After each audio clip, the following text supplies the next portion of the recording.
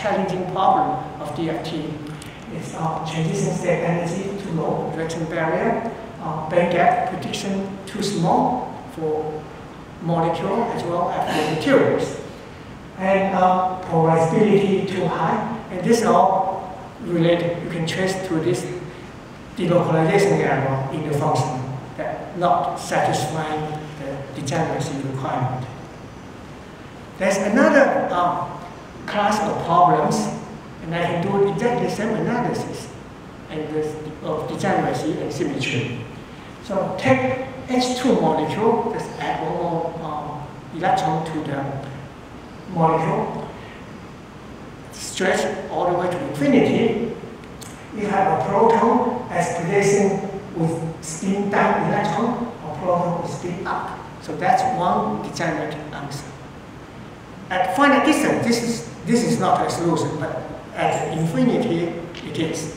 There's another degenerate answer by flipping the spin. This is spin symmetry. You flip it, you get the uh, proton with spin A with spin up, and proton B with spin down.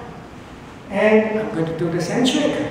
I take the average of these two wave functions, get this third wave function, and if I look at the electron density, something also very interesting happens.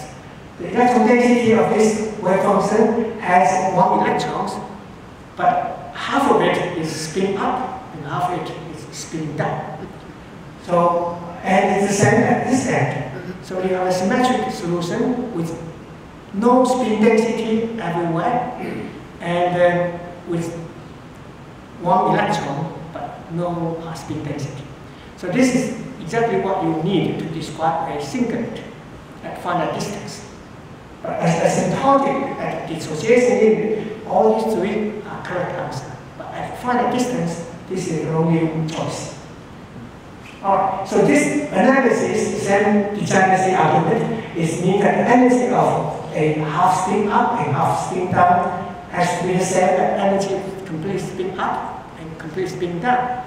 So the, uh, it is this line in the middle, from spin down to spin up in the middle. And I can go prove the entire line, the energy for any spin flipping any fraction, as long as it add up to one, is the same. So this is the requirement that's derived from the degeneracy the uh, challenge, the strong correlation challenge for this uh, for covalent bond for H2 molecule is because we cannot describe this fractional spin object. So this is a strong correlation error in the function. So, so I have identified two really key errors in DFT is the inability to describe the fractional spin object and then the error in describing the fractional charge.